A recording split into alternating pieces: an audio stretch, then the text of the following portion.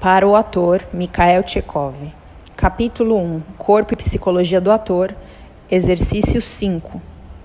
Se você já observou pássaros voando, poderá facilmente aprender a ideia subentendida nesses próximos movimentos. Imagine todo o seu corpo voando através do espaço. Assim como nos exercícios anteriores, seus movimentos devem fundir-se entre si, sem se tornarem informes. No presente exercício, o vigor físico de seus movimentos pode aumentar ou diminuir, de acordo com o seu desejo, mas nunca desaparecer por completo.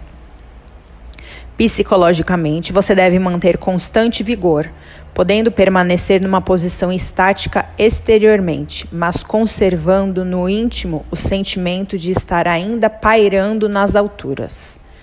Imagine o ar à sua volta como um meio que instiga seus movimentos de voo. Seu desejo deve ser superar o peso de seu corpo, combater a lei da gravidade. Enquanto se movimenta, altere as cadências. Uma sensação de jubilosa leveza e desenvoltura impregnará todo o seu corpo.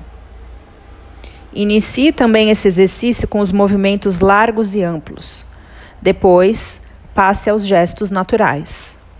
Enquanto executa os movimentos cotidianos, assegure-se de que preserva sua autenticidade e sua simplicidade.